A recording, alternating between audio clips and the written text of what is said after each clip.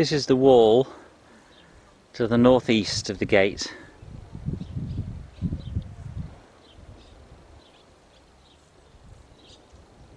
Just to the above and to the east of the gateway we see the line of herringbone masonry.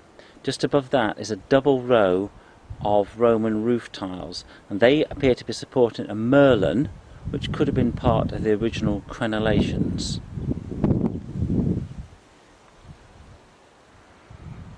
It's also going to be interesting to know what date these pilasters are to find out whether they are part of the Roman structure or were added later. However, the herringbone does actually carry on this way. We're going to put a small sondage in here to see whether there's a Roman rampart left. So here we are in the sondage by the gateway. We have a mortar and stone surface here. Now the section built up in the post-Roman period is essentially just turf and subsoil. You can see a bit of tile sticking out there. In this shot we can see the relationship between the mortar floor and the double layer of Roman tile there which is presumed to be the base of a merlon which we can just pick out amongst the stonework there.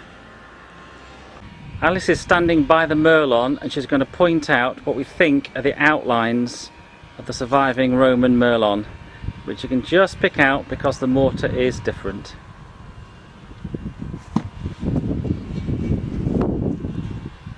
Running along, following the herringbone along, there is a pilaster about 1.8 to 1.9 meters away from